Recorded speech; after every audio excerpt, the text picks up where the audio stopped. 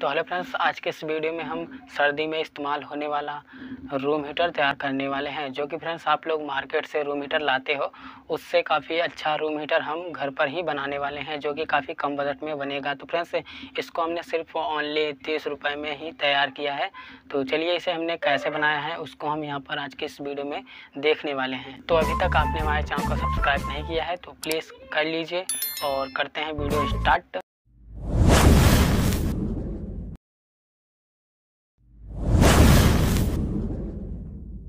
तो यहाँ पर फ्रेंड्स, हम एक खाली जगह पर इस तरीके से जो है ईट की सहायता से पीट लेंगे उस ज़मीन को और यहाँ पर हम एक लकड़ी ले रहे हैं। तो फ्रेंड्स, इस लकड़ी की जो मोटाई है, वो है दो सेंटीमीटर और इसकी जो लंबाई है, वो है नौ इंच। तो आपको ये ध्यान में रखना है और इस तरीके से मार्किंग कर लेना है ज़मीन पर। तो यहाँ पर फ्रेंड्स हम स्क्रू ड्राइवर की मदद से इस गड्ढे को जो है तैयार करेंगे। तो फ्रेंड्स आप किसी निकुली चीज़ का इस्तेमाल कर सकते हैं। तो यहाँ पर मैं चाकू की मदद से मिट्टी को जो है कट करके यहाँ पर इस गड्ढे में से मैं मिट्टी को निकाल ले रहा हूँ।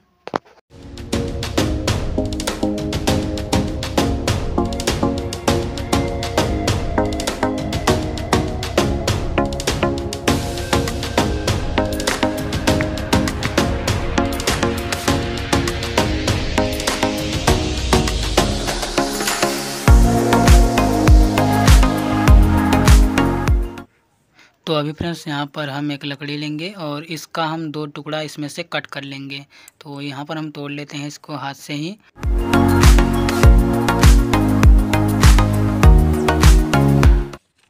तो अभी फ्रेंड्स यहाँ पर हम बेकार न्यूज़ पेपर लेंगे और इसको हम इस गड्ढे में अच्छी तरीके से फिट कर लेंगे।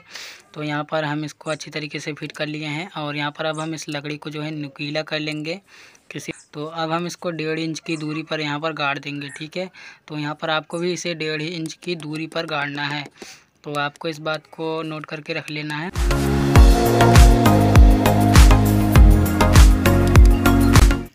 तो यहाँ पर फ्रेंड्स आपको कोई सा भी बर्तन ले लेना है तो फ्रेंड्स इसको लेने के बाद हम लेंगे यहाँ पर हॉर्लेक्स का डिब्बा। तो ये फ्रेंड्स हॉर्लेक्स नहीं है इसमें इसमें हमने सफ़ेद बालू रखा है तो आप इसे ले लीजिएगा। और इसमें फ्रेंड्स आपको सीमेंट मिलाना है तो इसमें सीमेंट मिला के आपको इसका पेस्ट तैयार कर लेना है। तो यहाँ पर हमने लगभग सीमेंट को मिक्स कर लिया है तो अभी हम इसमें पानी को डाल दे रहे हैं और अभी हम इसको चम्मच की मदद से इसको मिक्स कर लेंगे। तो यहाँ पर हमारा जो पेस्ट है, वो बनकर लगभग तैयार हो चुका है। तो चलिए। तो अभी फ्रेंड्स, यहाँ पर हम झाड़ू की दो स्टिक निकाल लेंगे और हम इसको गड्ढे के साइज़ के बराबर ही तोड़ लेंगे और तोड़ने के बाद हम इसको इसमें लगा देंगे दोनों तरफ़।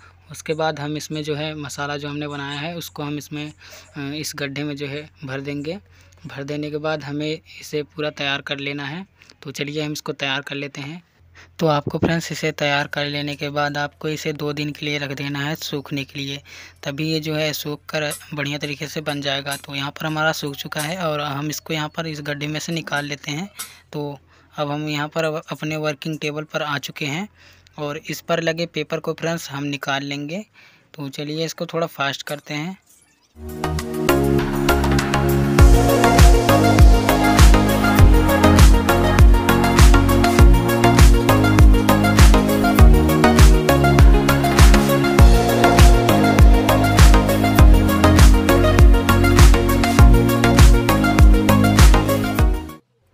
तो अभी फ्रेंड्स, इसमें से हमने लकड़ी को निकाल लिया है और अभी दोनों तरफ़ आप देख सकते हो, ये धारदार बना हुआ है। तो इसको हम प्लास की मदद से इस तरीके से तोड़ देंगे और यहाँ पर हम इसको बढ़िया तरीके से बना लेंगे। तो दोनों तरफ़ हम प्लास की मदद से इसको अच्छी तरीके से ठीक कर लेंगे। तो अभी फ्रेंड्स हम इस सैंड पेपर की मदद से इस पत्थर पर जो है इस तरीके से घिसाई कर लेंगे और यहाँ पर हम नाइक्रो वायर बैठाने के लिए इस तरीके से जो है बना रहे हैं। तो आपको भी इसे कुछ इसी तरीके से बनाना है। तो अभी फ्रेंड्स यहाँ पर हमने कट इस पर लगा दिया है। आप देख सकते हो कुछ इस तरीके से। तो आपको भी यहाँ पर कुछ इसी तरीके से इस पर कट लगाना है। तो यहाँ पर हम दो लकड़ी लेंगे। तो इसकी मोटाई फ्रेंड्स दो सेंटीमीटर है। यहाँ पर आप लोग देख सकते हो। तो अभी चलिए फ्रेंड्स, अब इस लकड़ी की जो है चौड़ाई के बारे में बात कर लेते हैं। तो फ्रेंड्स, इसकी लंबाई और चौड़ाई दोनों सेम ही है, यानी कि ये वर्ग आकार है। तो फ्रेंड्स, ये नौ सेंटीमीटर वर्ग आकार आपको एक टुकड़ा कट कर लेना है। तो फ्रेंड्स, यहाँ पर आप लोग देख सकते हो, बीच में मैंने जो है मार्किंग की है। तो यहाँ पर मैं आपको दिखा देना चाहता हूँ। तो यहाँ पर पाँच सेंटीमीटर की दूरी पर आपको भी इसको बीच में से इस तरीके से मार्किंग कर लेनी है इस पर। और यहाँ पर ये जो हमारा पत्थर है, इसको हम यहाँ पर इस तरीके से जो है लगाएँगे। इस तो इसी के अकॉर्डिंग हमने यहाँ पर इसकी मार्किंग की है। तो आपको भी कुछ इसी तरीके से कट कर लेना है मार्किंग करके। तो अभी फ्रेंड्स यहाँ पर हम छः सेंटीमीटर लेंगे और छः सेंटीमीटर पर हम यहाँ पर मार्किंग करेंगे। तो फ्रेंड्स यहाँ पर कर लेते हैं मार्किंग। तो फ्रेंड्स यहाँ पर हम इस तरफ़ भी मार्किंग कर लेते हैं। तो मार्किंग हमने कर लिया है। तो फ्रेंड्स इसको हमें थोड़ा गोल आकार में कट करना होगा। तो कुछ इस तरीके से आप देख सकते हो। तो यहाँ पर आपको भी कुछ इसी तरीके से जो है लकड़ी पर मार्किंग करनी होगी। और इसको मार्किंग करने के बाद हम इस तरीके से कट कर लेंगे। तो फ्रेंड्स यहाँ पर हमने कट कर लिया है। तो अभी फ्रेंड्स यहाँ पर हम एक इस तरीके की लकड़ी की पटरी लेंगे। और फ्रेंड्स हम अभी इस लकड़ी को जो है, यहाँ पर रख देते हैं। तो दोनों तरफ़ रख देने के बाद फ्रेंड्स, हमें इस पत्थर को लेना होगा जो कि हमने खुद बनाया है तो इसको हम यहाँ पर रख देंगे। और अभी हम इसको जो है, इस पर रख कर और अब हम इसकी जो है मार्किंग करेंगे। तो यहाँ पर हम सबसे पहले मार्किंग कर लेते हैं इस वाले का। तो यहाँ पर हमने मार्किंग कर लिया है, और इस तरफ़ भी हम मार्किंग कर लेंगे सेम इसी तरीके से। तो यहाँ पर हमने मार्किंग कर लिया है, और अभी हम इस पत्थर को निकाल लिए हैं। तो चलिए अभी हम इन दोनों को साइड में करते हैं और हम इसकी कटिंग देखिए, यहाँ पर कर लिए हैं और अभी हम इसको यहाँ पर फिर से इस तरीके से देखिए, रख रहे हैं इस पर। तो आपको भी कुछ इसी तरीके से जो है लगाना है। तो लगाने से पहले आपको यहाँ पर एक कनस्तर की सीट लेनी है। और उस पर इस लकड़ी की पटरी को रखकर इस तरीके से मार्किंग करके और इसकी कटिंग कर लेनी है। तो कटिंग पूरी होने के बाद ये आपको इस तरीके से एक सीट कट कर लेनी है। तो यहाँ पर ये सभी पार्ट मैंने इस कनेस्तर में से कट किया है। तो आपको सभी का माप लेकर इसको कट करना है। तो आप अपने लकड़ी के अकॉर्डिंग ही इसको कट कीजिएगा। तो यहाँ पर अब हम इसको इस पर रख देंगे, इस लकड़ी की पटरी पर। और इस पर हम एक दो कील से ज़्यादा इस पर नहीं लगाएँगे, क्योंकि यहाँ से जो है जो हमारी हीट है, वो एब्जॉर्ब करेगा ये जो कनस्तर है, ये हीट हमारी जो है निकलेगी उसमें से, वो हीट को एब्जॉर्ब कर लेगा। तो इसलिए हम यहाँ पर दो कील का इस्तेमाल करेंगे।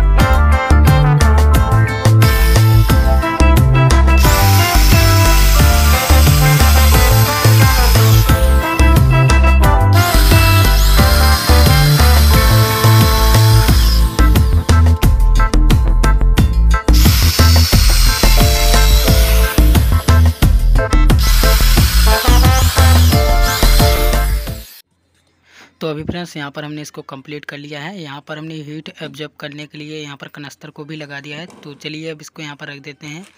तो यहाँ पर अब हम लेंगे नाइक्रोम वायर तो फ्रेंड्स ये आपको 25 से 30 रुपए के आसपास में मिल जाएगा। तो तो आपको इसे फ्रेंड्स लोकल मार्केट से ले लेना है। तो फ्रेंड्स इसके साथ हमें दो नट बोल्ट और दो कनेक्टिंग रोड देखने को मिल जाता है। तो यहाँ पर अब हम इस पत्थर को फिर से इसमें लगा लेते हैं।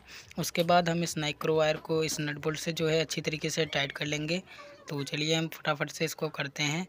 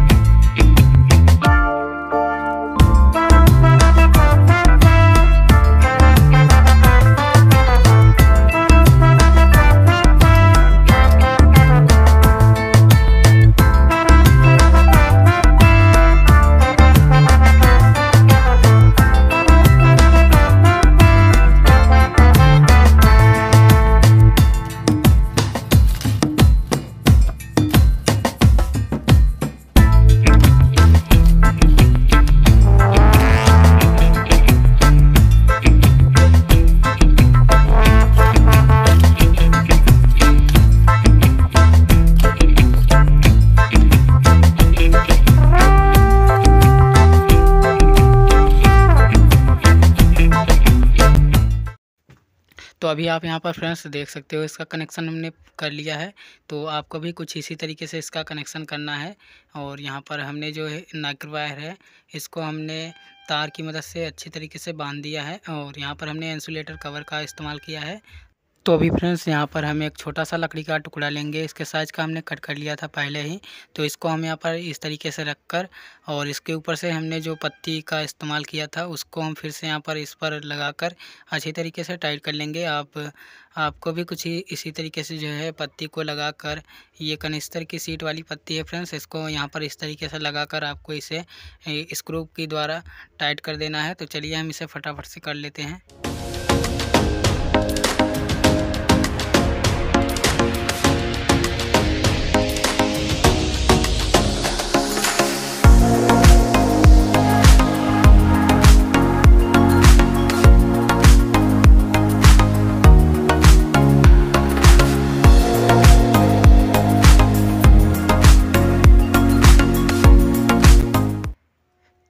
फ्रेंड्स इसको हमने कंप्लीट कर लिया। तो फ्रेंड्स यहाँ पर हम खिड़की पर इस्तेमाल होने वाली जाली लेंगे और इसको हमने यहाँ पर कट कर लिया है इसके साइज़ का। तो इसको हम इसके ऊपर लगाएँगे कुछ इस तरीके से। तो यहाँ पर फ्रेंड्स हमने कॉपर का वायर ले लिया है और इसके एक कोन पर हम यहाँ पर इस तरीके से जो है बाँध लेंगे। तो बाँध लेने के बाद फ्रेंड्स हमें दूसरे कोन पर भी इसी तरीके से जो है बांधना है।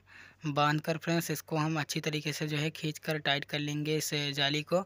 तो इसी तरीके से जो है पूरा हमें कंप्लीट कर लेना है इसको, जिस तरीके से कपड़े सिले जाते हैं।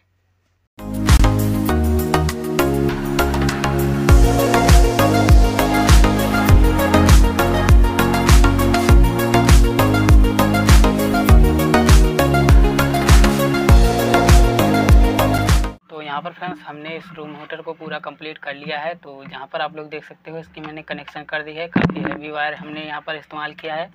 तो फ्रेंड्स इस वायर को हमने खुला इसलिए रखा है ताकि आपको वीडियो फेक ना लगे। तो चलिए इसको हम यहाँ पर रख देते हैं। तो फ्रेंड्स, यहाँ पर ये है हमारा मेन बोर्ड और इसको हम यहाँ पर रख देते हैं। तो अब हम इसके कनेक्शन को कर लेते हैं। तो यहाँ पर हम सिंपली इसको इसमें लगा देंगे। तो ये हमारा लग चुका है। तो चलिए अब करते हैं पावर ऑन यहाँ से।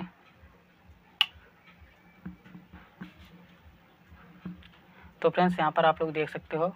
मैं इसको टच कर रहा हूँ। यहाँ पर कोई भी शॉक वगैरह नहीं लग रहा है। कुछ ही देर में हमारा हीटर जो है वो ऑन हो चुका है और यहाँ पर इसकी हीट जो है वो निकलनी स्टार्ट हो गई है। तो यहाँ पर फ्रेंड्स इसकी जो हीट है वो काफ़ी तेज़ है और इसको मैं यहाँ पर टच भी कर रहा हूँ। तो यहाँ पर इसका, इसमें शॉक वगैरह लगने का कोई भी चांस नहीं है। तो अभी फ्रेंड्स, हमने इसकी टेस्टिंग की। तो फ्रेंड्स टेस्टिंग के दौरान आपने एक बात ज़रूर नोटिस की होगी। तो फ्रेंड्स, मैं आपको बता देता हूँ। तो फ्रेंड्स, आप सोच रहे होंगे कि ये जो हमने इन दोनों तरफ़ जो है लकड़ी का इस्तेमाल किया है तो फ्रेंड्स, ये लकड़ी जल सकती है इसकी हीट की वजह से। तो फ्रेंड्स, ऐसा बिल्कुल भी नहीं होने वाला है क्योंकि अगर आपने वीडियो स्किप नहीं करी होगी तो आपको शायद पता होगा। यहाँ पर हमने जो कनिस्तर का इस्तेमाल किया है उसको हमने यहाँ पर इस लकड़ी में जो है टच नहीं किया है। इसमें थोड़ा सा हमने जगह छोड़ दिया है और हमने बस तो नीचे जो है कील की सहायता से इसमें लगा दिया है और यहाँ पर हमारा जो कनस्तर है वो इस लकड़ी में टच नहीं है। तो फ्रेंड्स इसमें से जो हीट निकलेगी, वो इस कनस्तर में जो है एब्जॉर्ब हो जाएगी, ठीक है? ये कनस्तर जो है अपने ऊपर जो है इसको एब्जॉर्ब कर लेगा और इसको जो है ठंडा कर देगा और लकड़ी पर जो है, बिल्कुल भी इफ़ेक्ट नहीं पड़ेगा। तो फ्रेंड्स ये लकड़ी बिल्कुल भी सेफ़ रहेगा। तो फ्रेंड्स, इसको हमने बहुत ही सेफ़ तरीके से जो है बनाया है। इसमें हमने सेफ्टी का पूरा ध्यान रखा है। इसमें शॉक वगैरह लगने का कोई भी चांस नहीं है। तो फ्रेंड्स, अगर आप इसे बनाते हो तो जिन बातों को मैंने आपको बताया है, उसको आपको ध्यान में रख कर बनाना है। तभी जाके आपका ये जो प्रोडक्ट है, वो बहुत ही अच्छे से वर्क करेगा। तो काफ़ी लाइफ टाइम तक ये आपका प्रोडक्ट जो है, वो चलेगा। आप इसको आराम से घर पर बना सकते हो। बहुत ही अच्छा प्रोडक्ट है ये। आज के लिए बस इतना ही फ्रेंड्स मिलते हैं किसी और यूजफुल वीडियो में। तो अभी तक आपने हमारे चैनल को सब्सक्राइब नहीं किया है तो कर लीजिए। और वीडियो अच्छा लगा हो तो लाइक ज़रूर कीजिएगा। चलिए, चलते हैं।